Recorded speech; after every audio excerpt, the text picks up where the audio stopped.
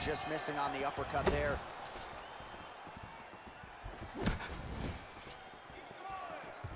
Gaethje's got his block.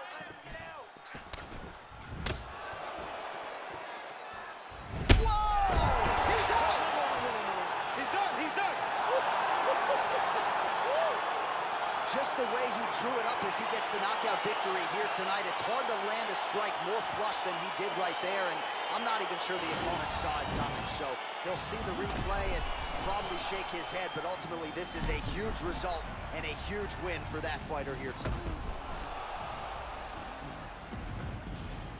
And there is the UFC lightweight champion. He is going to be